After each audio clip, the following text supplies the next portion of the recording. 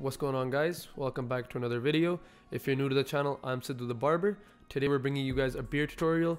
I will leave a link in the description for all the products that we're using in this video. Quick shout out to Cams for producing this video too. Uh, leave a like if you enjoy the video, comment if you have something to say, subscribe if you're not already, and turn on the notification bell so you'll never miss another video. New videos every Thursday. So just putting the neck strip on bro. And then obviously the cape too, which is right here. Yeah, so quick shout out to my boy Amin as well for being a good sport and letting me use him as a model for this video. He's blessed man to have such a nice full beard, but as you can tell he's looking a bit rough, so we're gonna line him up. I like to begin all my lineups by combing the hair through. Lineups or haircuts doesn't matter because you want to see the hair at its full potential and take out all the knots or whatever might be in there. He has a pretty coarse, uh, dense beard too, so yeah, I combed it out. You should too.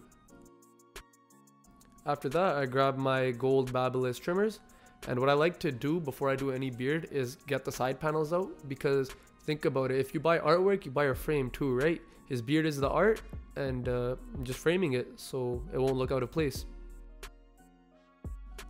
These uh, these trimmers are hitters, man. I got them zero gap too, so I always gotta remember not to apply too much pressure. And you wanna brush off your clients too after every few strokes, because think about it, if that's you in the chair, you wanna be comfortable too. Again, combing it out. And as you can see, there's a bunch of overhang. At which point I like to bring in my shears to get it um, through.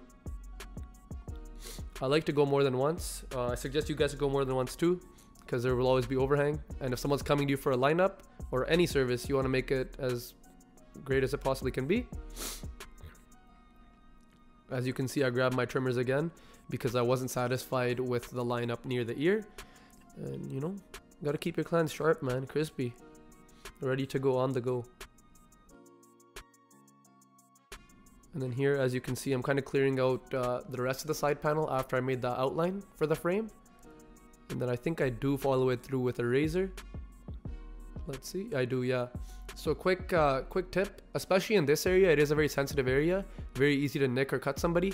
So you want to be extra sure to stretch the skin, which uh, the opposite direction of uh, where your strokes are going. And I'm just clearing it here all the way. I will come back and revisit it, but it's just for now, you know? You gotta you gotta get through the foundation as quickly as you can so you can come back and detail, even if you're detailing a beard lineup. Alright, so as you guys can tell, his beard was lowered a bit. I don't know, maybe by the last barber, maybe by him. And so here we're just having a consultation, which is very important because if there's no consultation, you might give your client something that they might not want. So we're just talking about it and uh, what to do with the the new the new stubble, the overgrowth. Uh, I think the conclusion we came to was we'll just line up the the new the new growth and see where that goes. And yeah, we fast forwarded it for you guys too, so it wouldn't be too boring. Uh, I think we did end up lowering it because he was like, that looks kind of goofy. It wasn't the look for him. You know, this guy, he's always doing something so he can't go into public looking goofy. Yeah, so just lowering it some more back to where it was. I'm sure like when he's when he has nothing in the plans for a week or so, he'll grow it out, but busy guy. And I am brushing it too. And by the cheek area, you do want to ask your clients to blow a bubble because if you don't, you're gonna, and you try to do it just normally by stretching the skin and not having your clients blow a bubble, you will end up lowering the beard because it'll never look straight. That's why you need them to blow a bubble. Pro tip for you guys if you didn't know. I'm just revisiting the lineup, gently tapping, stretching the skin. And at this point, I do grab my comb again, which I can't stress enough how important combing your client's beard or hair out is when you're, you know, cutting. Just combing it out near the end. Uh, we were going for a square shape on the bottom. Especially when you're doing like big beards like his is. You wanna you wanna definitely shape it a little bit. You know the silhouette's very important to the beard lineup. Then I go back here a couple times, readjust my hand. Uh, this can be very scary in the beginning because you don't want to take off too much of their beard, but my suggestion is just uh, light strokes. And don't go too deep, don't go too fast. It's it's a marathon, not a race. That side's done for now. Uh, this other side, we're just going to show you quick before and after because it's pretty much the same steps that I use on the other side. And here's the before. and then uh, I did the I did the lineup. Now you can see me coming with the shears, getting the straight hairs. This is very, very, very important. This will set you apart from a lot of other barbers, and clients appreciate this.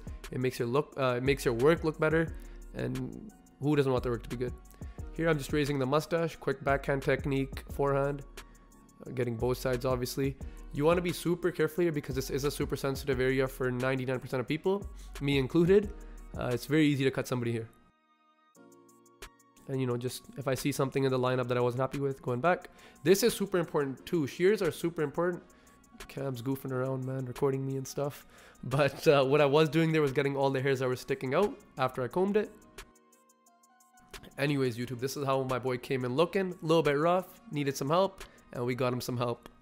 Uh, that's all for today. If you guys enjoyed the video, leave a like like I said before. New videos every week. I'll catch you guys in the next one.